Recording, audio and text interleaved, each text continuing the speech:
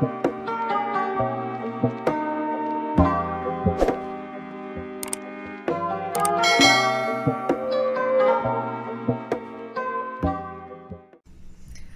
everyone and welcome to the Big BENG. In a previous video we had found what the transfer function of the circuit is. We had also concluded that this was the transfer function of a high-pass filter. But why? Let's start by breaking this transfer function down. We're going to do that by first finding the poles and the zeros of this function. We can get the zeros from setting the numerator equal to 0, and we can get the poles from setting the denominator equal to 0. Let's start with the zeros. So we can set j omega L over R equal to zero, and that gives us the zero rather quickly. We figure out that j omega equal to zero is where we're gonna have one of our zeros. Well, the only zero. Then we can get the pole by setting 1 plus j omega L over R equals to 0. And from solving that, we get that the pole will be negative R over L. So that's when the pole is happening. All right, now that we have the zeros and the poles, we can actually plot them on a imaginary real axis. And I'm doing this for one quick note, but this isn't that important right now. I just want you to keep in mind that our pole is negative. So it would be here, right? The negative R over L. And it's also real. So because our pole is negative, so it's on this left hand side of the um, plot here, this means that we have a stable system. But more on that later when you take a control systems class. What we can do now though is find the cutoff frequency.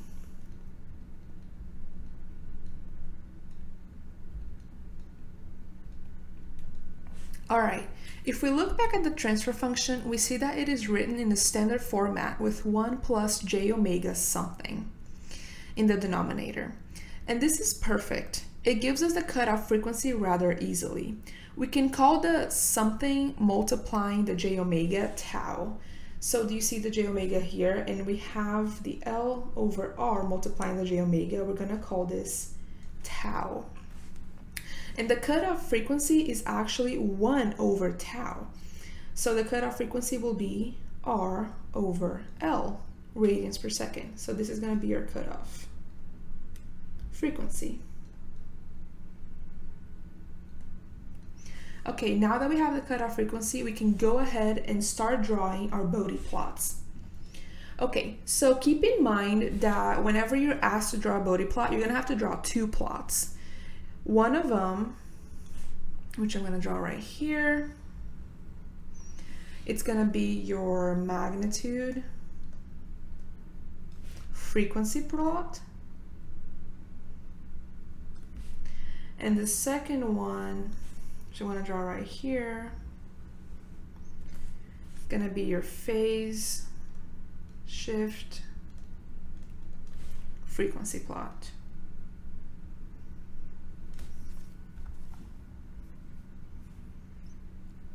So your magnitude is going to be quite often actually just called h of j omega and you're going to be finding that in decibels.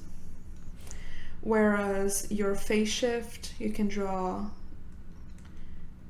this and you're going to be finding that in um, degrees. And then the frequency will be usually in omega and you're going to be finding that in radians per second.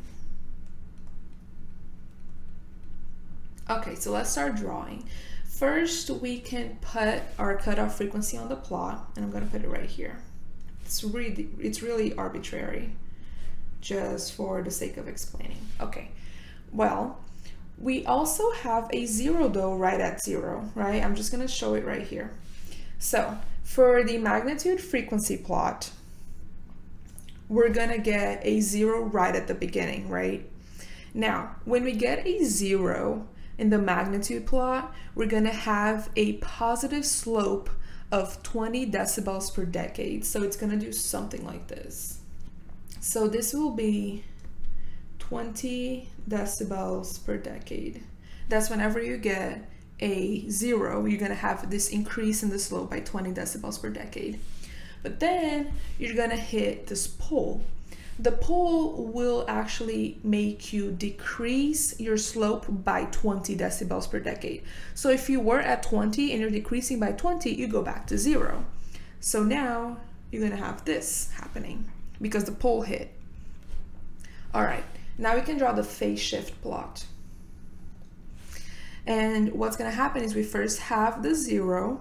What the zero does though is it will shift your face 90 degrees, so a positive 90 degrees.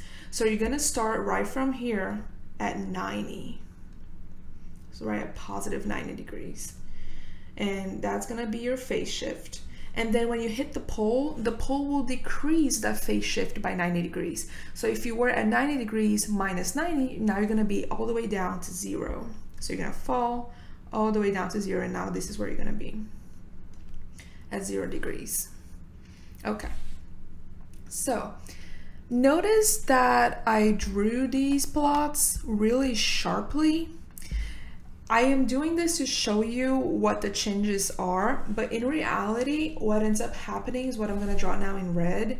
You have really smooth curves. So you'd have a smooth transition. So if you were to draw this, let's say on MATLAB, you would put the function in MATLAB and you would spit it out, you would get something really smooth. I can shape it up like this, a really smooth curve. Same thing would happen with the phase shift. You would get something like this. So you get very smooth curves in reality. Now, just to keep in mind, I'm gonna write down here, when you get a zero, you get a positive 20 decibel per decade change in the slope. When you get a pole, you get a negative 20 decibel per decade change in the slope. For the phase shift, when you have a zero, you get a positive 90 degree change. When you get a pole, you get a negative 90 degree change. Just keep this in mind. Now, let's go back to the question I asked in the very beginning. Remember that we had talked about how this is the Bode plot for a high pass filter? Why was that, right? You may be wondering that. So notice how here in the magnitude frequency plot, we have the frequencies, um, the magnitude is highest over here, right? At the higher frequencies. Whereas in the lower frequencies, let's say right here, you have the magnitude quite small. It's increasing as you get to higher frequencies. So what's happening is that lower frequencies are being attenuated or filtered, whereas the higher frequencies are quite literally passing. So this is the reason why we would consider this to be the Bode plot of a high pass filter and they're rather easily rather easily recognizable because of this characteristic. You see the higher frequencies passing, the lower frequencies are not passing.